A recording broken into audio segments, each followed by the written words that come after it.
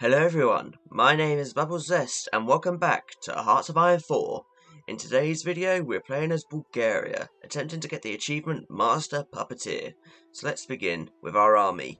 Now we have a small army that we can't really deal with much right now, so what we're going to do is place them on a fallback line and exercise them. Exercise them only so they have 5 experience.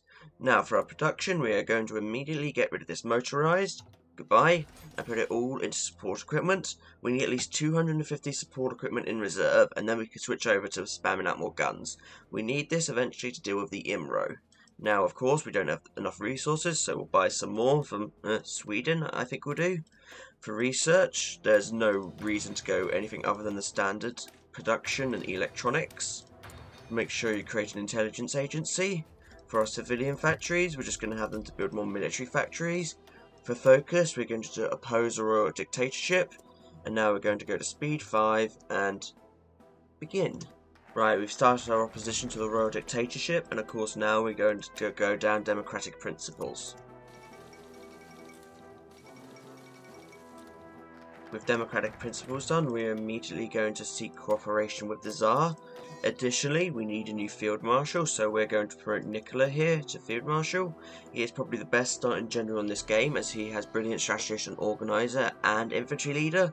So we are going to give him Logistics Wizard, Aggressive Assaulter, and Offensive Doctrine eventually, when we have the command power to do so. Right, let's seek cooperation with the Tsar, and now we'll move on to Petrokota. And now, with that focus done, we are now in a position to deal with Bulgaria's factions. In my opinion, what we should do is get rid of the broad socialists and integrate everyone else. The broad socialists don't offer us many benefits that are useful to us, while everyone else, the Zvezno and the National Social Movement, have some somewhat useful benefits. There, that's Petrokota done, and now at this point you should just continue down to plot against Boris and the fate of the Balkans. Also, since we now have Petrokota, we can get political advisors a lot cheaper, so make sure you hire a democratic reformer. And there goes the broad socialists. Now we're just going to work on integrating the agrarian union for the moment. Alright, with plot against Boris done, we have now unlocked some new decisions for us to do. The most important of which is to brainwash political prisoners, persuade faction members, and then draw up a plan for regicide. At this point though, we can't continue down to of the Balkans, so I'm going to do restrained paramilitary organisations. That unlimited manpower weekly is too powerful for me to ignore. Then we're going to condemn Macedonian organisations and cooperate with the Zvezno. You could easily dissolve them, but in my opinion it's better to keep them around as they have this infantry expert right here. I like him too much, so that's why we're going to keep the Zvezno. Right, we have now got the ability to seek foreign support and execute the plan to do Boris's head off, so we should do both. As it says, by doing it we reduce the how long it takes and the stability loss. Uh, condemn Macedonian organisations, we're immediately going to do anti-IMRO propaganda. Just keep going down your factions and wait for Boris's head to come flying off. Oh dear, Boris's head has come flying off. I wonder why. There we go. And now we'll form a Regency Council. You could do the return of Tsar Ferdinand, but I see no reason to do so. Right, we're forming our Regency Council now. The only sensible one in my opinion is the independent government. There you go. And now we can do the fate of the Balkans. So let's do it. Right, with Fate of the Balkans done, there are some things we need to do absolutely immediately. One is to refuse army restrictions. Don't worry, the UK won't do crap about them. And additionally, we are immediately going to send an ultimatum to Yugoslavia. And you're thinking they won't accept it. And that's the point. They won't accept it. There you go, they refuse to join us. that's so rude. Right, next step of the plan is to do nationalist propaganda. As you can see there, it gives us even more manpower. Additionally, what we're going to do is create a brand new template with our 5 experience, have it just be one battalion of infantry, and spam out a lot of them. How many can we afford? 101. Max priority once down there. And there you go. Spam them out as soon as you can. And finally, start improving relations with Greece, Turkey and Romania. It's why getting rid of the IMRO is so important. With nationalist propaganda done, we've ran out of focuses we can really do that's useful for us for the moment. So we're going to go down and acquire the modern tools path. And so we could do things like rebuilding the army and the like. And we need manpower, so we're going to jump up to limited conscription. Don't worry, the manpower isn't too bad. We're integrating the Zvezda at this point, which will give us another 120. Right, we now have 53 divisions, so now I think it is time to see if we can't get some new friends. Let's say hello to Greece. Will they join us? Perfect. Now, will Romania and Turkey. This is more risky. Turkey says yes, and Romania says yes. Perfect. Now, in a moment, when we have the political power, we'll try and subjugate them, but we still need more troops in the field because they can easily, easily refuse it at this point. What? Francis is inviting us to the non-intervention committee? Why is that our problem?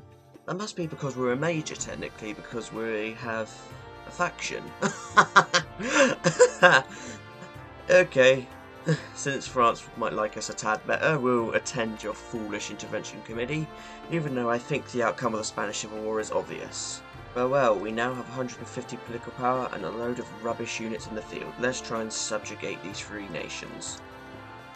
Oh, what do you know, they've given in. They've given in, and they've given in. Perfect. We've managed to outbluff them with some of the worst units in Hoi 4. now let's request their unit to prepare for war with Yugoslavia. The war goal still exists, and no one is guaranteeing them as Romania is in our faction now. And our it for good measure. Oh, look at that. That is 75 divisions extra. So let's just put them all together and prepare for war for Yugoslavia. They shouldn't be able to stop us. Right, our units are in position and in good organisation.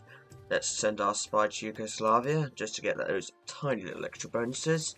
No one is guaranteeing them still, so let's declare war, don't call in your new puppets, and let's go get Yugoslavia.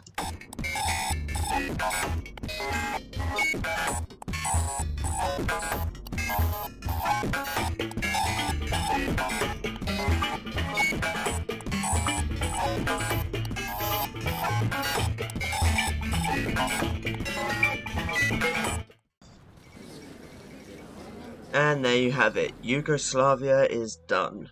Now, we could just puppet all of them, but there is honestly no reason to. Let's get some puppets out of them instead. So to start with, we are going to do Serbia, which is ironic, because of course Yugoslavia is Serbia, but actually, nah. What we're actually going to start with is the Republic of Transylvania in Banat.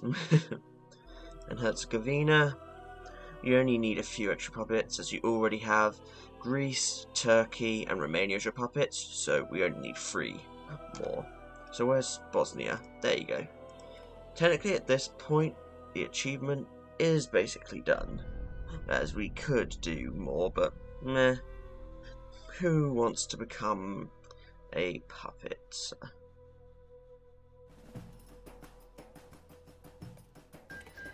And there's the peace deal, but let's get a few more puppets, Bosnia and Herzegovina and Serbia. There you go. And now we can immediately, luckily, bring back some in Serbia. We can demand that from them. There you go. They can't decline it as they are your puppet. And yes, we do have some spectacularly unrefined border gore. But isn't that what Hoi 4 is all about?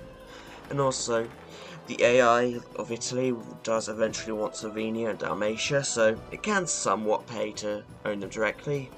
So let's begin Bulgarian integration of the Balkans. Right, that's Bulgarian of the integration of the Balkans done, and now, you know what, we have high democratic support and all that, so let's finally do legislative elections. Yep, after all of this we decided that democracy is the path. There we go. We now have Nikola Mushanov as our leader. And to finally cap it off, since the game allows us to do this, we are going to do the Third Bulgarian Empire. And there you go, the Third Bulgarian Empire. 70 days after Mushanov assumed power, he goes on a massive power trip and declares himself emperor. You've got to wonder how that would look in Bulgarian society and history.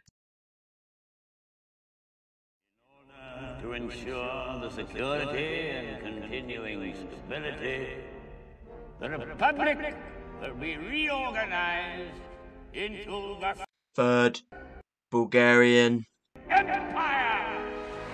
for a safe and secure society.